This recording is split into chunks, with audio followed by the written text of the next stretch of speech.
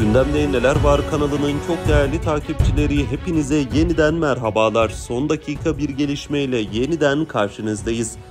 Kıymeti izleyenler Amerika açıkladı. İran helikopterin bulunması için bizden yardım istedi dedi.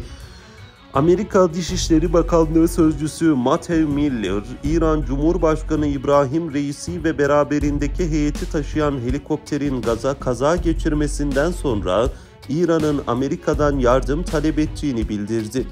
Amerika Dışişleri Bakanlığı Sözcüsü Matthew Miller, İran Cumhurbaşkanı İbrahim Reisi ve beraberindeki heyeti taşıyan helikopterin kaza geçirmesinden sonra İran'ın Amerika'dan yardım talep ettiğini ifade etti.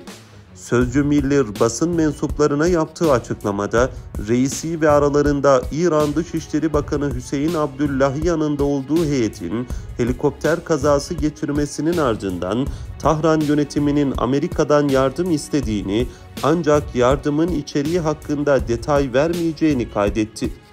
Bu durumdaki herhangi bir hükümet için destek vermeye istekli olduklarını karşı tarafa ilettiklerini aktaran Miller, ama sonuç olarak büyük ölçüde lojistik sebeplerden ötürü bu yardımı sağlayamadık dedi.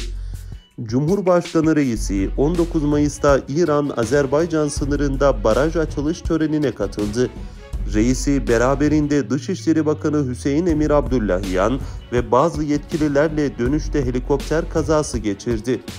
İran'ın talebi üzerine Türkiye arama kurtarma faaliyetlerinde Akıncı insansız hava aracını görevlendirdi.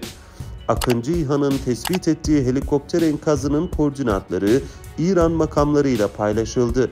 Belirlenen noktaya ulaşan İranlı ekipler kazadan sağ kurtulan olmadığını ifade etti. Reisinin hayatını kaybettiğinin kesinleşmesinin ardından birinci yardımcısı Muhammed Muhbir geçici cumhurbaşkanı olarak görevlendirildi.